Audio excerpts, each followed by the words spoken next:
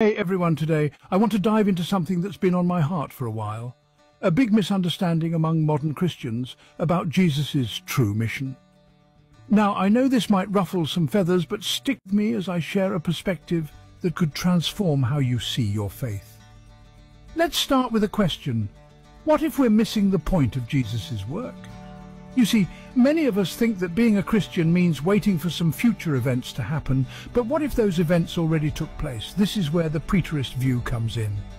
Preterism suggests that many prophecies in the Bible were fulfilled in the past during the first century. Think about it, Jesus came to defeat sin, Satan and the grave. And he did just that through his life, death and resurrection. When Jesus said, it is finished, he meant it. He made a way for us to bypass the terrible events we often think are still to come.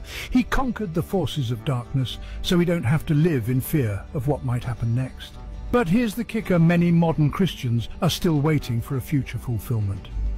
They think the battle is still ongoing, when in reality Jesus already won. This misunderstanding can lead to a faith that's based on fear rather than the victory and freedom Jesus secured for us.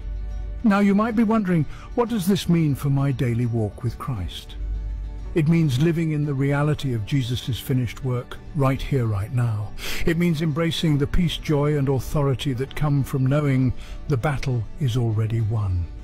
Imagine living a life where you're not constantly looking over your shoulder, but instead you're looking ahead with confidence, knowing that Jesus has already paved the way.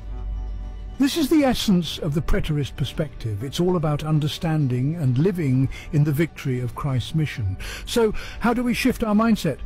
Start by diving into the scriptures with this new lens. See how Jesus fulfilled the prophecies and how his work on the cross changed everything. Surround yourself with teachings that emphasize his completed work and let go of the fear-based interpretations of the future. Friends, Jesus didn't come to leave us in suspense. He came to give us a full and abundant life right now. Don't let the big misunderstanding keep you from experiencing the fullness of his mission. Take a moment to reflect on this and ask God to reveal the truth of his finished work to your heart. Trust me, it will change the way you live your faith. Thanks for tuning in. If you found this perspective helpful, hit that like button and share it with others who might need to hear this message. Until next time, Live in the victory and freedom that Jesus has already won for you. God bless.